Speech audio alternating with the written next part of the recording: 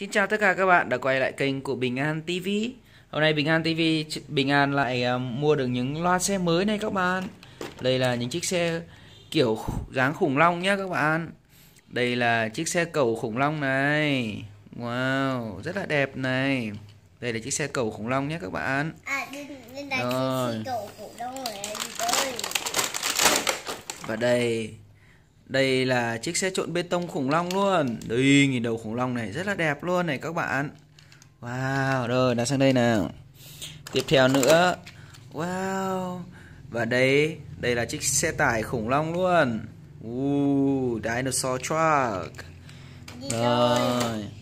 Và tiếp theo Đây là gì đây? Đây là chiếc xe máy xúc khủng long luôn này các bạn. Uh, Máy xúc khủng long này có sừng này các bạn ơi Có đầu khủng long này. Wow Dinosaur excavator. Và đây chính là phụ kiện đi theo đấy các bạn. Đây là cái để trộn bê tông này. Đây là Đây. Đây là xe đẩy này. Đấy. Và còn đây là cái gì đây? Wow đây có một con số con khủng long này.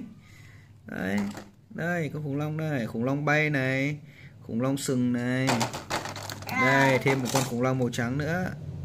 Uh, Đây là một cái cây này. Đây là cái xẻng xúc này.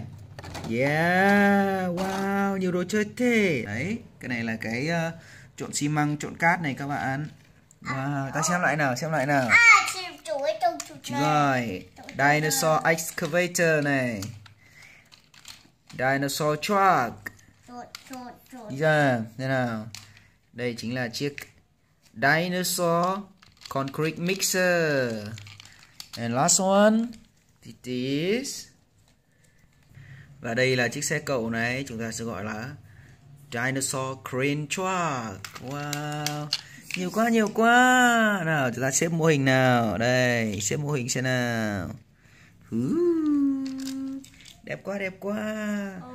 Vậy là chúng ta đã review xong nhé Chào tạm biệt các bạn. Nào chào tạm biệt các bạn nào. Goodbye nào Goodbye. Goodbye. See you again. Đi See you again. Goodbye. Goodbye